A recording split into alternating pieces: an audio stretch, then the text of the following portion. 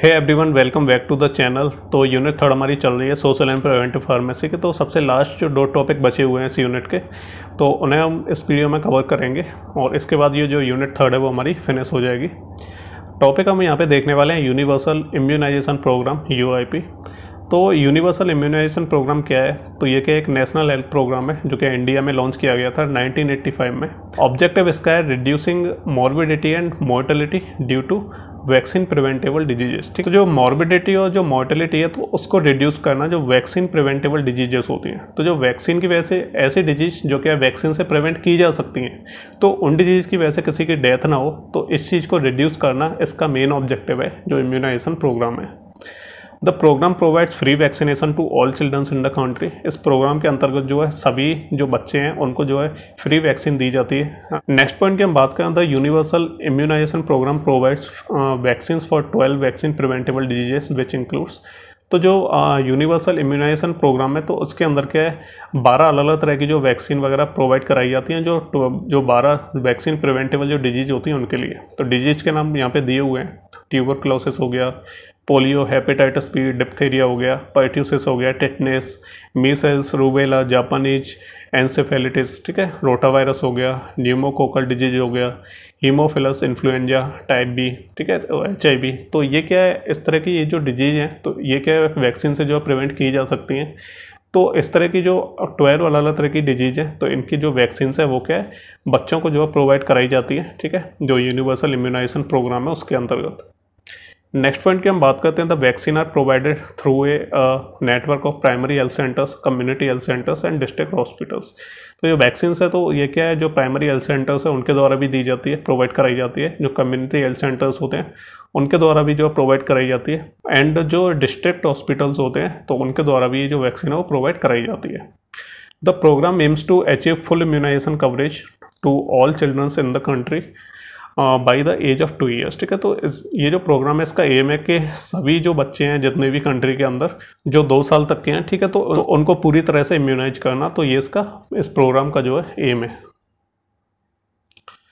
इसके अलावा over the years the U I P has made significant progress in increasing immunisation coverage in the country तो धीरे धीरे जैसे जैसे समय बीतता जा रहा है तो जो यू आई पी है हाँ तो इसने क्या है सिग्निफिकेंट प्रोग्रेस दिखाई है। जो इम्यूनाइजेशन जो प्रोग्राम है, यानी कवरेज है, उसको उसको जो बढ़ाया है, बाकी इसमें इंक्रीज देखने को भी मिला है, जो इम्यूनाइजेशन की जो प्रोग्रेस है उसमें, ठीक है कंट्री के अंदर।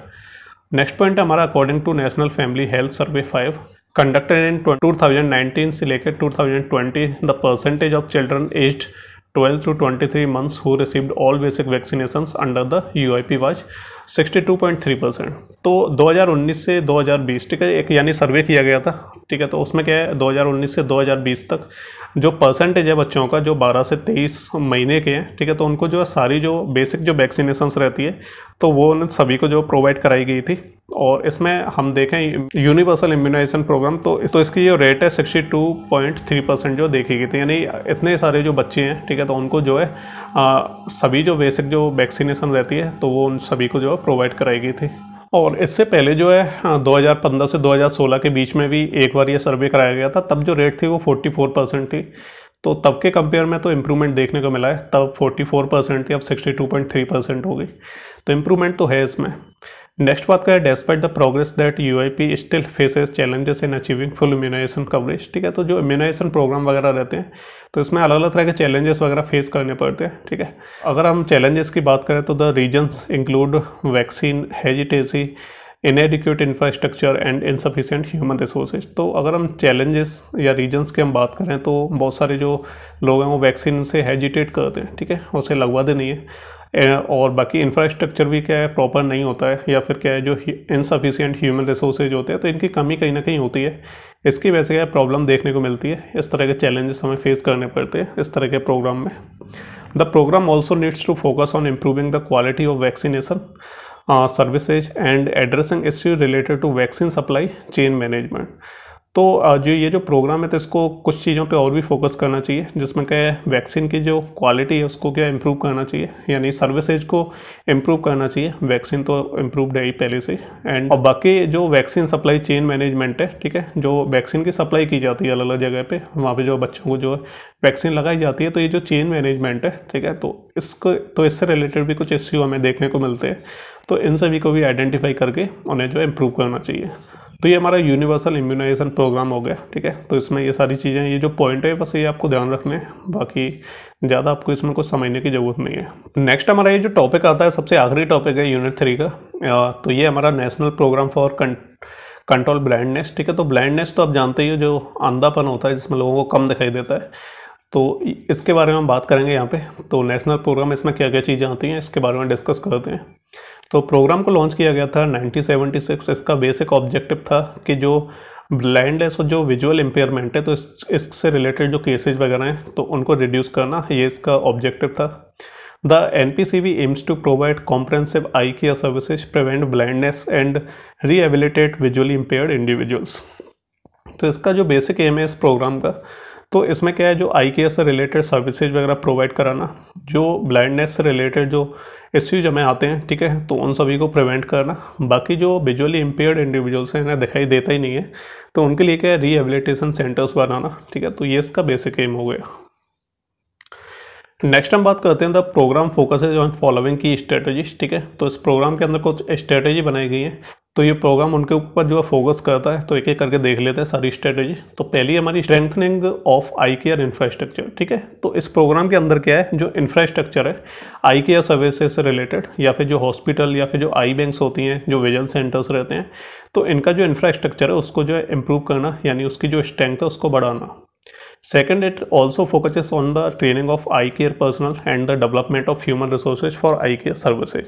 तो इसके अंदर क्या है कुछ जो पर्सनल्स होते हैं तो उनको ट्रेनिंग वगैरह प्रोवाइड कराई जाती है आई केयर से रिलेटेड कि आई केयर से रिलेटेड जो सर्विसेज़ होती हैं तो उनको जो कैसे प्रोवाइड करना है ठीक है? और बाकी ह्यूमन रिसोर्सेज के डेवलपमेंट के ऊपर भी फोकस किया जाता है।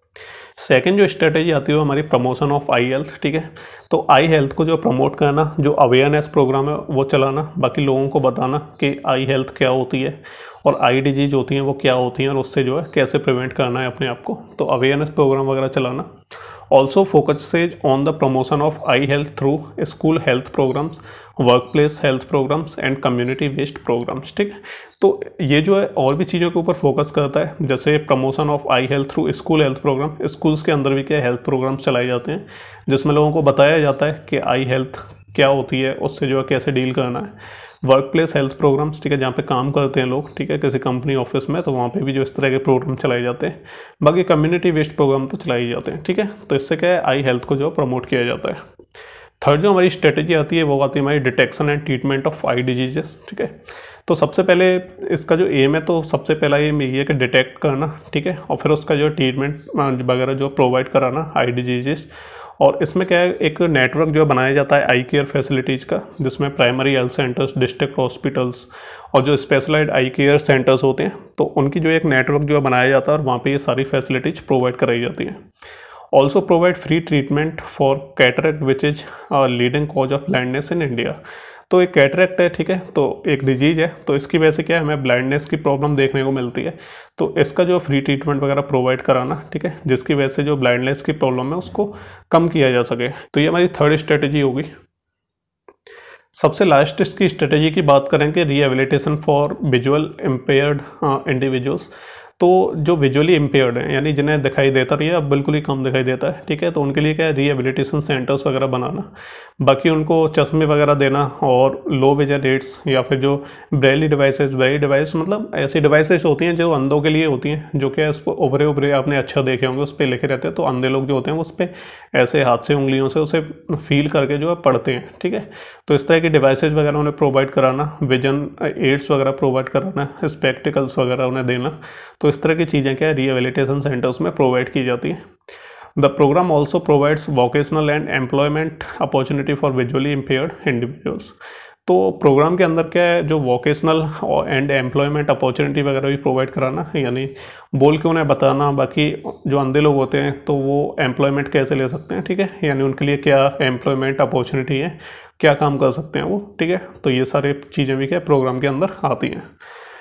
नेक्स्ट इसमें बात करें कि the N C B has made significant progress in reducing the burden of blindness in India तो इस प्रोग्राम की वजह से क्या हमें सिग्निफिकेंट प्रोग्रेस हमें देखने को मिलती है? बाकी जो ब्लाइंडनेस से रिलेटेड जो बर्डन है, वो भी हमें कम होते हुए देखा गया है इस प्रोग्राम की वजह से। According to the latest survey conducted in two thousand nineteen से two thousand twenty the prevalence of blindness in India है reduced from one point one percent in two thousand one to two thousand two to zero point five percent in two thousand nineteen से 2020 ठीक है तो simply आप ऐसे समझ सकते हो इसे। तो 2019 से 2020 तक जो एक सर्वे जो है कंडक्ट किया गया था। तो इसमें जो प्रेवलेंस है ब्लाइंडनेस का तो ये रिड्यूस होते हुए दिखाता है 1.1 परसेंट तो 2001 से 2002 तक जो है वन परसेंट वन परसेंट जो है, हमें रिडक्शन देखने को मिला था। 2019 से 2020 तक 0.5 परसेंट हमें रिडक्शन देखने को मिला था। ठीक है तो ये हमारे लेटेस्ट सर्वे में ये चीज़ नोटिस की गई थी। The last point is के the program has also increased the availability of eye care services and has provided treatment for cataract to a large number of individuals, ठीक है? तो ये जो प्रोग्राम है, इसकी वजह से जो आई केयर सर्विसेज़ हैं, उनकी अवेलेबिलिटी में भी हमें बढ़त देखने को मिली इंक्रीजमेंट देखने को मिला। एंड जो कैटेक से रिलेटेड जो ट्रीटमेंट है तो वो भी क्या है, ज़्यादा से ज़्यादा लोगों को प्रोवाइड कराया गया। तो ये हमारा सबसे आखिरी टॉपिक था, ठीक है? और इसमें बस आपको इतनी चीज़ें समझनी है, बाकी आपको एग्ज़ाम में लिख के आना है, बस पॉइंट आपको याद कर लेने हैं। तो ये था हमारा सबसे आखिरी टॉपिक यूनिट थ्री का। यूनिट थ्री हमारी फिनिश हो चुकी है। अब हम स्टार्ट करेंगे यूनिट फोर तो मिलते हैं अगले वीडियो में। तब तक के लिए goodbye and take care